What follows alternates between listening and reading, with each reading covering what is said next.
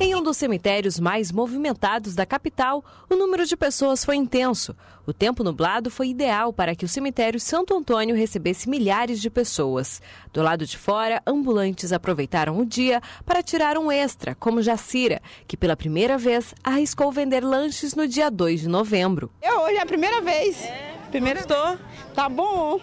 Vai voltar mais vezes? Vou voltar mais vezes, acho que vai virar vício. Os fiscais da CEMUSB orientaram os vendedores quanto a manter a ordem e o alinhamento das barracas. E o comércio foi desde livros à aferição de pressão. Dentro do cemitério, teve gente que aproveitou o dia para visitar diversos parentes, como Altenir, que passou nos túmulos de seu pai, neto, filha, mãe, irmão, cunhada e sobrinho. Mas é um dia triste? Para quem, quem tem amor, é. Você se emociona nesse dia? Sente falta, né? Eu sinto.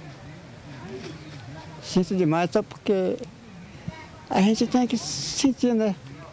Pelo, pelo, pela família da gente, para aquele pessoal que sempre a gente ama, né? Quem não tem parente enterrado por aqui aproveitou o toco do cruzeiro para acender uma vela em homenagem às boas lembranças. A cruz é um símbolo. Então aqui a gente acende assim, é tipo assim, as pessoas que estão longe, pai, mãe, parente que está longe, amigos, né? Que não estão aqui, a gente acende assim, para eles. A estimativa é que 40 mil pessoas passaram pelos três cemitérios da capital e mais de 50 ambulantes cadastrados aproveitaram o domingo para tirar um extra.